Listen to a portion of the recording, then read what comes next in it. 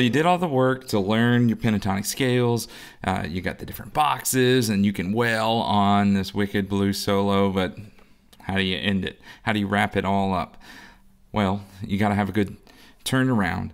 Uh, and if you're going to play multiple solos, or if you're just jamming around the house, you need several different turnarounds that you can vary with. So here's just a couple that I've learned. One works really well for a slow blues. And the good news about both of these is that they're movable. You can put them in any key, and all you got to do is look for the root. It's on the B string, the root's on the B string, and so I'm going to show you this in A, but you can move it anywhere. So uh, you start out, find the A on the B string, so that's the 10th fret here, and I'm going to put my pinky on the 10th fret and put my ring finger on the ninth. and Blues rhythms are tricky to ride out. Uh, if you look at it, it looks really weird, but if you listen to it, you're like, yeah, that's that's the blues. The way I tabbed it out here is in 12-8. So all of these are like triplets, kind of with the space in the middle. Sometimes you'll see it with a, a quarter note and uh, for the first note and an eighth note for the last. It's hard to write out the rhythm, but you know what it is that you, you know that rhythm as a bluesy kind of rhythm. Uh, and so you get these triplets that you want to put in your in your turnaround. So you start out right here and there's your A and you can move it anywhere. Whatever key your song starts in, whatever chord your song starts with, find that note on the B string and you can do this turnaround. You can you can do it in E right here. You can do it in B up here, B flat. Uh, it, G would be right here. Wherever that opening chord is, you find that note on the B string. That's your root, that's your tonic, and it works. So here we go. And you kind of walk down. So from nine, and then I like to hammer on that A7th. And so that gives you this nice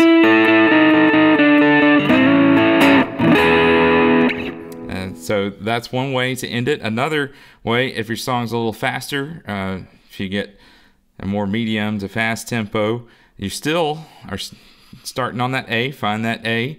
That's your root.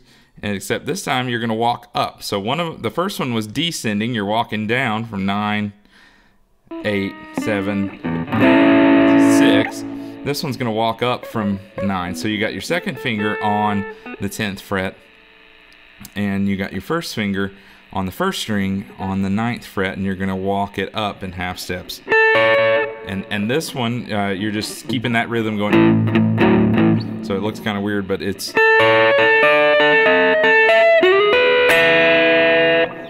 so that's a fun ending you can move that one around it works in any key if you want to do it in E it works right there if you want to do it uh, in G right here.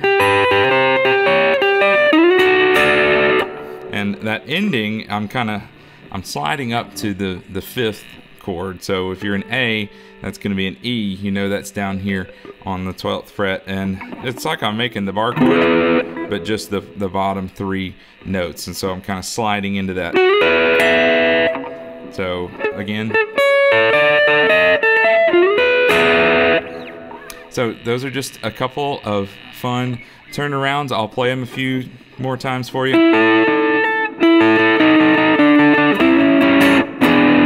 Really help you get it in your head. Uh, and if you want the tabs, uh, there's a link in the description. It takes you to my Patreon page, and you can download that. Working on a backing track uh, with some basic rhythm and that you can jam to. There's tons out there. Go look up some, uh, but you know you got to find uh, what you want, what suits your style. You can record your own uh, or get a looping pedal, uh, but there's tons of them out there on YouTube. So just look look for the key that you're in, and you can do medium or slow or fast blues, and find whatever key you're in. There's tons of stuff out there. Uh, but that that's there's that slow one. and then the fast one. All right. Hey, I'm just a dad guitarist playing in the basement, sharing what I've learned over the years. Uh, it's a lot of fun doing this. Subscribe to my channel if I've helped you along. Uh, unlike the big YouTubers who make a living at this, I can answer your comments. So leave me a comment and let me know uh, if you have a question, if there's something that I can help you with, I'll be glad to. Uh, this is fun for me. So subscribe, like, leave a comment. It helps me know uh, what to do next, and it helps me help you keep playing.